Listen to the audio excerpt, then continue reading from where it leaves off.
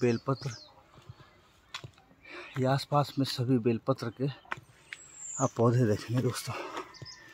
ये सभी बेल पत्र हैं, ये जितना भी देख रहे हैं इधर जितना भी आप देख रहे हैं, ये सभी बेलपत्र है। ये ऊपर में पूरा बेलपत्र देखिए आप, ये बेलपत्र है। ये सभी बेलपत्र आपको दिखेंगे। ये देखिए। ये बेलपत्र। जितने भी आसपास में आप देखेंगे, ये सिर्फ़ और सिर्फ़ बेलपत्र का ही पौधा मिलेगा। इधर आप एक बेल भी देख रहे होंगे, इधर काफ़ी सारी बेलें देख रहे होंगे। ये मैं जूम करके दिखाता हूँ आपको। ये सब बेल है। ये देखिए, ये बेल, इधर भी आपको बेल दिखेंगी।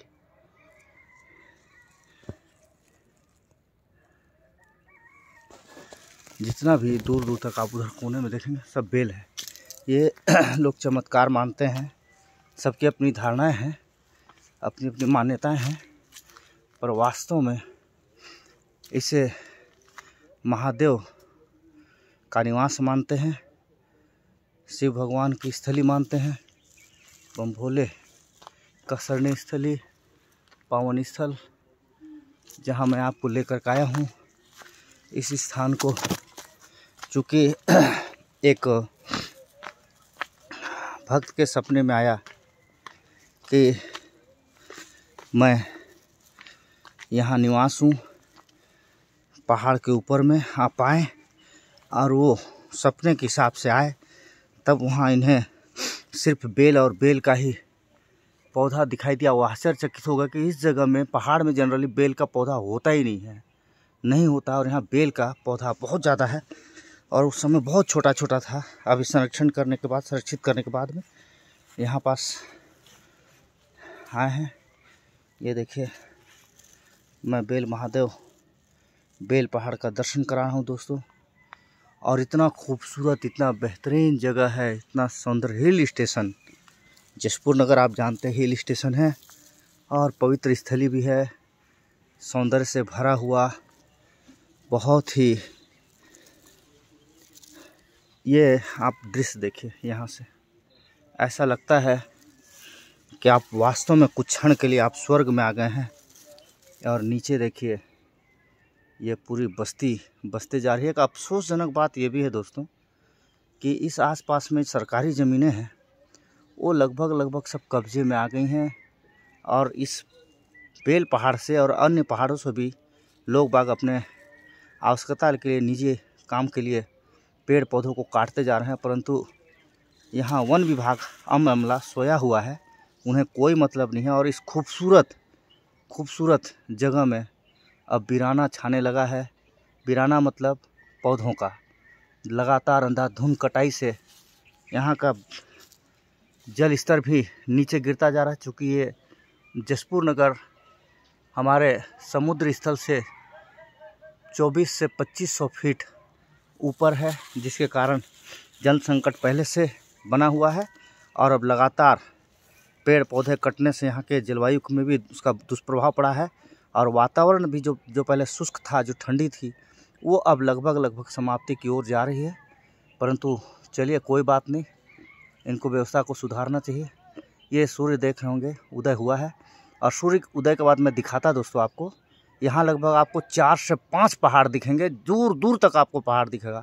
धुंध छाया हुआ, कितना मनोरम दृश्य। हिल स्टेशन, बहुत ही पावन स्थल। कहा जाता है कि यहाँ शिव विराजते हैं। और मैं अपनी बात करूँ तो मैं हकीकत बोल रहा हूँ दोस्तों आपको। ये सुंदर देखिए, बेल महादेव गुफा। कमज़ोर दिल वाले तो ना आए। 580 सीढ़ी चढ़ करके आपको इस खूबसूरत और दर्शनीय स्थल पे आना होता है। मैं अपनी बात बताऊँ दोस्तों, मैं झूठ नहीं बोलूँगा। बहुत पहले जब हम लोग शुरू में आया करते थे, सीढ़ी नहीं बनी थी। यहाँ पास मैंने साक्षात नागदेव को देखा था। यहाँ शिवलिंग के पास मैं वीडियो भी बनाया था। ये लगभग दस ग्यारह साल पहले की बात है। परंतु अफसोस आज मुझे इस बात की हो रही है कि काश वो वीडियो मिल जाता। तो मैं आपके साथ शेयर करता ये धार्मिक और पावन स्थल, शिव गुफा, आप देख रहे हैं। कोशिश कर रहा हूँ मैं दोस्तों वीडियो छोटी बनाने का, लेकिन क्या होता है, जब आप किसी प्रकार का वर्णन करते हैं तो वहाँ पास फिर वो आप छोटा वीडियो नहीं बना सकते हैं। बहुत सारी चीज़ों को आपको छोड़ना पड़ता है। ये आप इधर देखेंगे आश्चर्य हो जाएँगे। केवल बेल, सिर्फ़ बेल और बेल का पौधा है, पेड़ है। अब तो धीरे बड़ा रहा मैं बहुत खूबसूरत जगह लेके चल रहा हूँ आपको। थोड़ा सा दिक्कत वाली है, परंतु देखता हूँ। ये। हाँ। आपको लिए चलता हूँ। मनोरम दृश्य देखने के लिए आपको बहुत सारे चीज़ों के पास लेके जाना पड़ता है।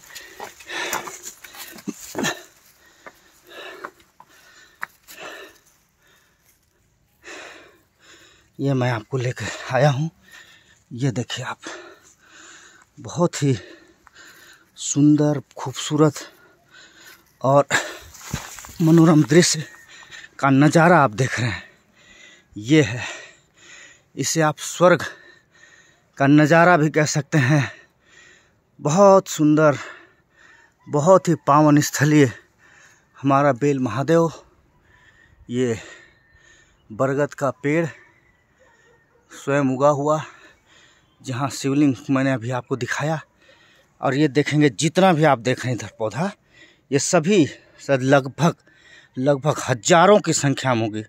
हज़ारों की संख्या में सिर्फ़ और सिर्फ़ बेलपत्र का ये पौधा है, बेल का ये पेड़ है।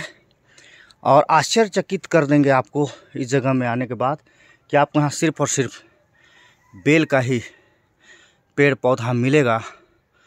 और इसीलिए इसका नाम बेल पहाड़ से, चूँकि भगवान शिव का लिंग यहाँ मिला, शिवलिंग, जिनको हम लोग पूजा करते हैं, सनातन धर्म में है, बहुत सारी मान्यताएँ हैं, हम पूजा करते हैं। और यहाँ आने के बाद कई लोग जल भी सावन में चढ़ाने आते हैं। ये देखिए सुंदर, कितना सुंदर, मैंने कहा था, पहाड़ के बीच पहाड़ पहाड़ के बीच पहाड़ों के बाद ये लगभग चार से पाँच पहाड़ों के बीच में घिरा हुआ ये सुंदर जसपुर, खूबसूरत जसपुर, प्रति, प्रकृति का भरपूर मतलब हम प्रकृति की गोद में हैं।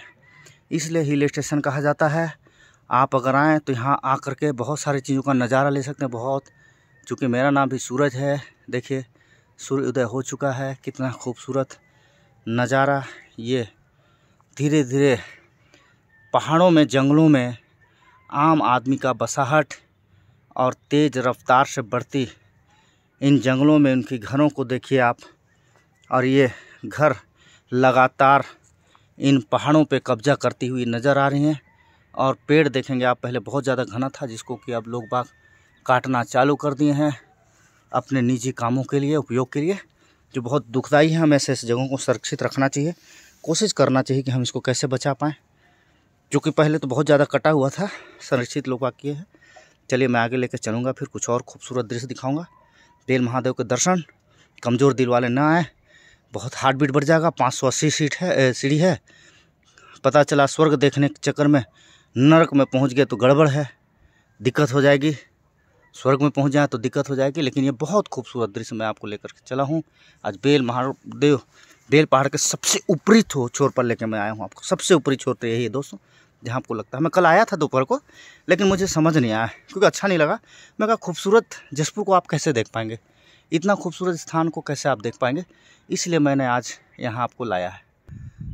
भक्तजन प्रयास कर रहे हैं कि कैसे इसे संरक्षित करते हुए यहाँ मंदिर का निर्माण किया जाए। प्रयास है, वर्षों से प्रयासरत हैं, चूँकि सास की मदद मिलती नहीं है।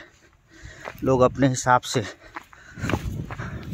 खूबसूरत इस स्थान को और खूबसूरत बनाने में लगे हुए हैं। ये देखिए, पीछे की ओर मैं लाया हूँ। ये इधर आप देखेंगे, देखिए खूबसूरत नज़ारा। इधर पूरा पहाड़ है। ये पूरा पहाड़ के ऊपर पहाड़ और चारों तरफ़ सिर्फ़ और सिर्फ़ पहाड़ है। मतलब ये मैं मैंने बताया आपको कि ये पहाड़ों के बीच, जंगलों के बीच और खूबसूरत पेड़ पौधों के बीच बसा हुआ सुंदर जशपुर। यहाँ के लोग उतने सुंदर हैं, दिल के साफ़ हैं, बहुत कोऑपरेटिव नेचर के हैं, लोगों का सहयोग करते हैं।